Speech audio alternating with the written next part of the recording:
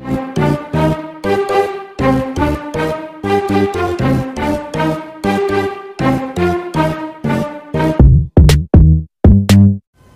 everyone, welcome back again dito sa ating channel ang BMD Portraits. So sa mga matagal na, na na part dito sa ating maliit na family, sa ating maliit na community pagdating sa portraiture, uh, marami na akong mga and I'm so happy na marami na akong mga naririnig ng mga nag improve ng malaki dahil sa panonood dito sa ating channel. At yun naman talaga yung goal ko at goal nitong channel na ito is to help mga youngs, mga student artists na medyo nahihirapan pagdating sa portraiture. So kung bago ka pa lang at ngayon mo pa lang na-discover itong aking uh, channel, itong ating channel, ay uh, sana ay uh, bigyan mo ng uh, panahon na makapag-subscribe at mapanood pa yung ibang mga videos, mga tutorial videos about portraiture and uh, particularly dito sa ating color pencil portraiture kung saan madami ang mga nahihirapan lalong-lalo na sa pagbuo ng realistic skin tone. So if you are a new artist or or yung matagal ka na ring artist pero medyo nahihirapan ka pa rin pagdating sa color pencils which is understandable because color pencil is not an easy medium to study pero possible, so much possible na makagawa ka ng uh, realistic uh, portrait na maganda at talagang pwede mong pagkakitaan pa in the future sa pamamagitan ng mga commission portraiture. So yun yung goal ng aking channel to help uh, mga artists young and old and in between pagdating sa portraiture. So on this particular video, medyo iba ang gagawin natin, medyo in-depth ng ating uh, uh, parang tutorial, drawing tutorial using color pencils. Three things ang pwede nyo matutunan and these are the three reasons why you need to watch this entire video, every second of this video kasi madaming madami kang matututunan. Three things ang matututunan mo on this video. Unang-una, ma-discover natin ang pinakabagong color pencil na nakuha ko. Ito ay ang Deli 24-piece oil-based color pencil. So marami kasi akong narinig na magandang bagay dito sa Deli na color pencil. So ito, first time ko siyang gagamitin on actual portrait. So makikita nyo siya, yun yung unang reason why you need to watch this video. Kasi baka magustuhan nyo itong Deli color pencils at kung maire-recommend ko ba siya sa inyo. So panuurin nyo every bits and pieces of this uh, tutorial para maintindihan nyo about daily color pencils. Yun yung unang reason why you need to watch this. Pangalawang reason is you don't need a large set of color pencils para makabuo ng magandang portrait. So ito papakita ko sa inyo how a 24-piece color pencil can create beautiful portraits. So marami nagsasabi na 24 is too small, na para madaming kulang or something. Pero papakita ko sa inyo in this video why you don't need a large set of color pencils para makabuo ng realistic drawing.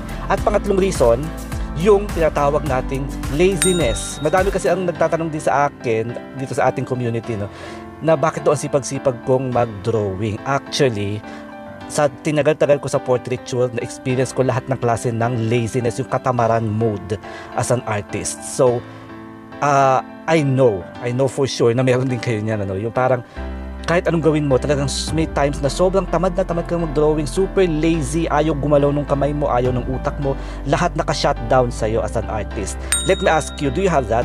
Na-experience nyo ba? In what way? Kailan kayo tinatamad? Saan kayo tinatamad? Sa color pencil ba? Kasi napaka, napaka tagal gamitin. Sa mga slow process medium, tinatamad ba kayo? O saan? Pa, ano, kailan kayo inaatake nung tamad mode, nung katamaran mode as an artist? Kasi ako, believe it or not, kung nakikita nyo parang ang sipag ko mag-portrait, naku hindi, I am the most tamad. Especially when I was younger, na nagsisimula pa lang, kasi parang gusto mong laging parang instant, di ba? Parang ganyan.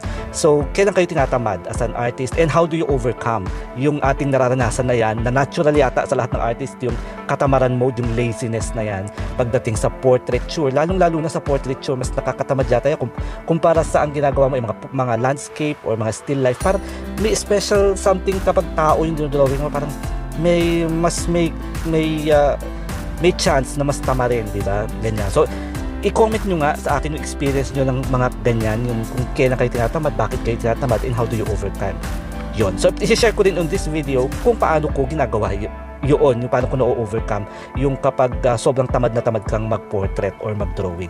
Magsisimula tayo doon sa topic natin. Habang pinapanood nyo itong aking drawing using Deli 24-piece color pencil, nakikita nyo ba? Kung napapansin nyo at this stage, isang pencil pa lang yung ginagamit ko, which is the black. Okay, the black uh, color pencils. Itong technique na ito, gusto ko i-share sa inyo kasi ito yung talagang isa sa mga ginagawa ko para ma-overcome ko yung katamaran mode as an artist. Kasi 'di ba, ang isa sa mga main reason kung bakit ako personally tinatamad is yung kapag yung nagsisimula ka pa lang, hindi mo pa natatapos, nasa, nasa one-fourth ka pa lang, parang feeling mo parang hindi naman kamuka yung drawing ko, parang, parang hindi naman siya magiging kamuka. Parang sayang lang yung effort ko, natapusin ko yung drawing na maraming araw, maraming oras, pero hindi naman magiging kamuka. So this technique is what I do. Ito tinatawag ko na blocking in technique or blocking in of shadows technique. So, kaya napapansin nyo, black pa lang, isang pencil pa lang yung ginagamit ko. And this is, I do this to block in the shadows. Kumbaga, ini-sketch ko na yung buong portrait using one pencil which is the black. Now, uh, it depends na lang sa inyong reference photo. Kasi ito, any dark pencil, pwedeng dark brown, pwedeng yung mas lighter na parang black na rin siya. Uh, depende sa reference kasi itong reference photo na ginagawa ko is medyo matingkad yung shadow so I use the black to block in all those dark shadows already. Ang reason ko for this is gusto ko na parang sa simula pa lang kamukha na. Yung yung kumbaga humuhulma na yung shape ng muka para medyo parang may sipag ka na eh. Parang medyo motivated ka na natapusin yung portrait. Kasi alam mo na uy simula pa lang kamukha na. So ito yung ginagawa kong pagbablock in ng shadow. And then ayan I use soft tissue para i-blend yung aking black uh, color pencil na ginamit kung hindi naman dark yung mga shadows, pwedeng dark brown yung gamitin mo to black in the shadows. Ingat lang din sa paggamit ng black. Don't use too much black, ano? Yung parang ano lang siya, parang very mild lang na talagang subtle lang na black na shadow. Ayan, so gaya nga nakikita ko na nakashape na yung ilong, nakashape na yung bibig, yung shadow sa muka. Kumbaga, eh parang may motivation ka na na tapusin ng masaya yung portrait ano. So yung yung uh, kasi tinatamad talaga ako kapag sa simula yung nakikita mo parang dito mo siya magiging kamuka parang ganyan. Meron kang ganong notion na nakakatamad tapusin. But on this technique itong blocking in of shadow yan isang pencil pa lang siya pero lumabas na agad yung shape ng ilong, ng bibig, the rest of the face. So, this is one way of uh, parang malabanan mo yung laziness as a portrait artist. So, one way lang ito. So, marami pa naman akong mga isi-share sa inyo later on. So, yun lang ngayon pinapakita ko sa inyo. Ngayon, magkukulay na tayo.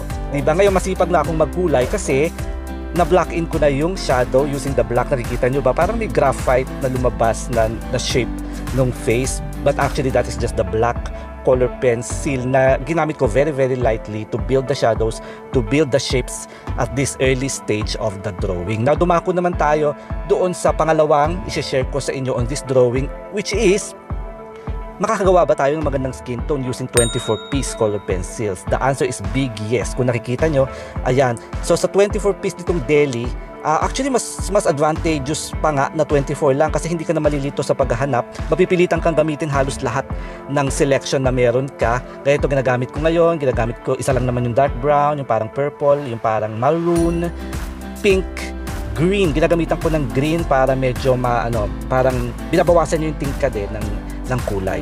So, yan yung uh, yung isang ginagawa ko para maging realistic pa rin yung skin tone kahit limited yung pencil na ginagamit ko. So ayan. So now, ito tungkol naman dito sa Delhi. No, at this stage, talagang so happy. I'm so very very happy sa nagagawang result nitong ni Delhi ano. Sinasabi nila na para siyang version na na cheaper version ng Polychromos kasi pareho silang oil based and nakakagulat kasi compared to Brad Funer, mas magaan gamitin itong si Deli. Meaning mas magaan, mas dry. Kasi si Brad Funer parang may pagka-wet, too oily, too soft. This one is mas stronger yung lead niya, mas napopoint, hindi nababali, medyo matatag. And then, ang maganda rin sa kanya is madali siyang i-blend at capable siya of multi-layering. So, madami kang nailalagay na mga layers.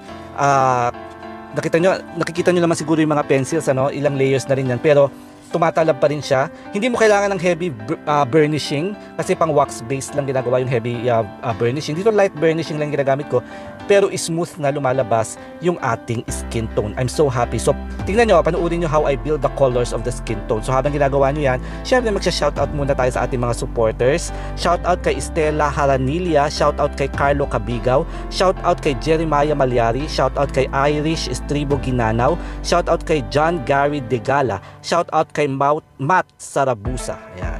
So, with regards dito sa ating daily color pencils, ano, actually, ito ah, sasabihin ko, mas magaan siyang gamitin compared to Brad Funer. Mas magaan, mas free. If you want some, a color pencil na dry, na may pagka-powdery, uh, I think this is a good color pencil for you. Kung medyo hirap kang i-blend si Brad Funer kasi may pagka-wet, uh, and if you want something that you can blend easily, this is really nice. Very fine uh, surprisingly ano although mas mahal naman siya ng, ka- ng kaunti sa Brad Funer pero mas mura ng hamak sa Polychromos. But it really gives me the Polychromos vibe na dry na solid na smooth i-layer on paper.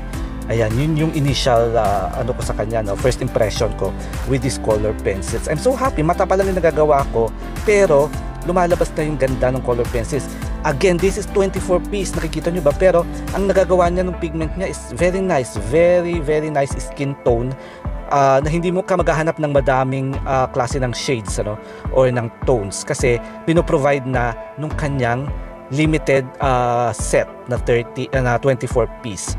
Ayan. So, this is part 1 of this tutorial. Part 2, magfo-focus tayo sa actual skin tone at sa marami pang mga tips on portraiture. So salamat sa panonood. Sa part 1, abangan nyo ang part 2.